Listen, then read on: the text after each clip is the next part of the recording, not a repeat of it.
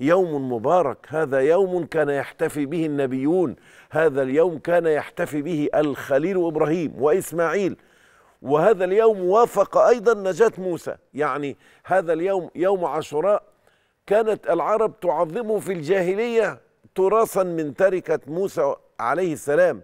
يعني حديث عائشة والحديث متفق عليه حديث في الصحيحين. أنه ذاك هذا يوم كان يصومه النبي قبل أن يهاجر من مكة وكان يصومه في الجاهلية وكانت تعظمه قريش.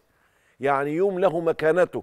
فلما هاجر من مكة إلى المدينة وجد أن هذا هو اليوم أيضا. لماذا تحتفلون بهذا اليوم وتصومونه هو النبي صلى الله عليه وسلم يندهش أن اليهود يفعلون مثلما كانت تفعل قريش.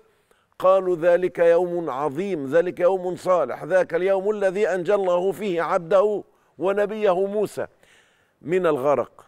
فقال النبي نحن أولى بموسى منه. يعني إضافة إلى الأسباب التي من أجلها صام النبي عاشوراء أنه اليوم الذي أنجى الله فيه نبيه موسى عليه السلام.